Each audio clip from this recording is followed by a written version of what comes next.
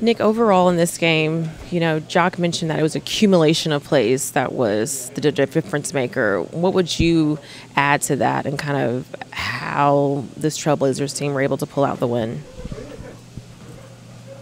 Yeah, um, I would agree. Definitely accumulation of things, um, rebounding, um, not creating enough good shots offensively, not not making enough shots. So yeah, definitely accumulation of things. I would agree. On that Simons last play, what did you see and kind of how his ability to get to the rim? I need to go rewatch it. I know we were we were um we were hitting, we were going to double team him. Um, I don't know how he got a wide open lane to the to the rim, and it was a tough finish though. The floater, he shot a floater right over me. It was a tough finish for sure. Was it even more frustrating as much as you guys pride yourself on protecting the paint that that was how this one ended?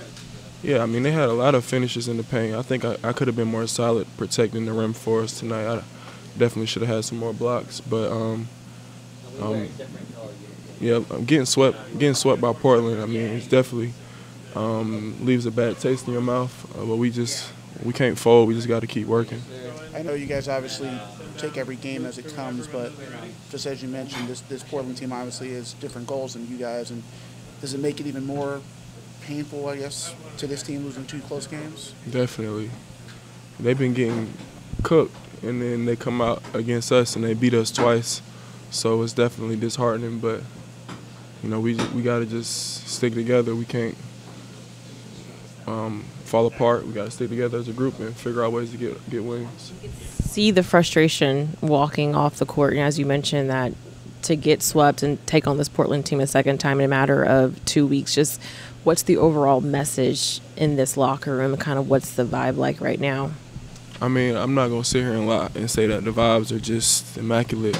Um, we definitely, we definitely um, feel a way about taking all these losses, but um, like I said before, all we can do is just stay positive. Um, definitely feel this loss and get ready for get ready for um, for the next game going to LA. Does it feel like it's it's getting heavier these losses at this point? Because I think it's 14 to 17 now. Is it is it getting heavier now to try to shake it off and, and move on? Because obviously these losses just keep keep on adding up. Yeah, it is. Nobody likes losing. Um, but like I said, we just gotta get ready for the next game, figure it out, and figure out ways to get get wins.